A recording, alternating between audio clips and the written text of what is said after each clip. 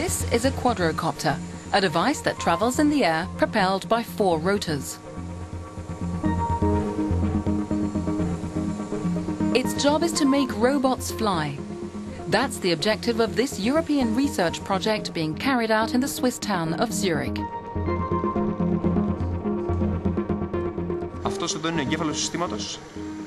Here we have the brain. There we have the sensors and the propellers. The data from the sensors reaches the brain which calculates navigation errors in real time and controls the propellers to correct them. Thanks to its onboard cameras, the model has good visibility and can find its way in the air. It's able to avoid obstacles and go back to where it came from if pushed away. The vehicle itself has to know where it is, how fast it is moving, how the surroundings look like. And for this, we have a pair of cameras in the center. We have a high-power LEDs to illuminate the scene, and we have an inertial measurement unit that gives us angular velocity and acceleration. So the vehicle knows exactly where it is, and it can, it can come back if I push it. It's gonna come back.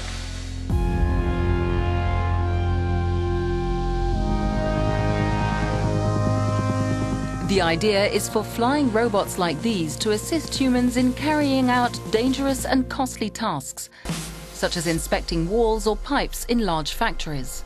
So what they have to do at the moment is they have to shut down the plant. They will send in people to do the inspection manually, which is time consuming and very dangerous.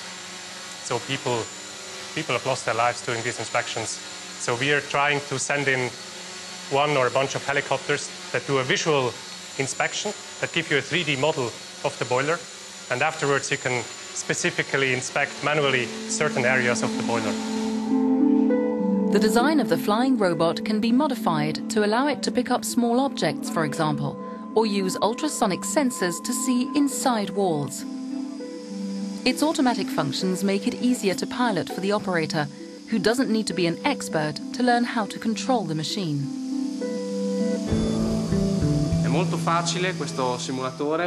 It's very easy to use. I don't even need to know how to pilot it. I just press the buttons to make it turn right or left or go up or down. Its automatic controls ensure that even inexperienced users can control this system. It almost feels like a video game.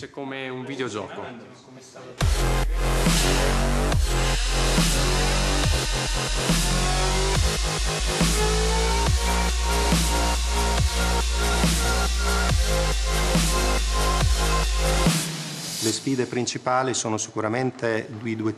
are two main challenges concerning this kind of vehicle.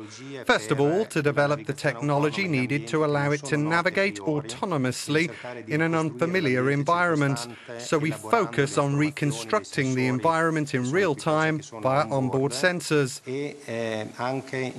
The other major challenge is for the vehicle not only to function in automatic control in free flight, but also in physical interaction with its environment. per riuscire a gestire il contatto con l'ambiente. It's hoped such flying robots will make many human tasks easier and safer in years to come, heralding a new era in industrial automation.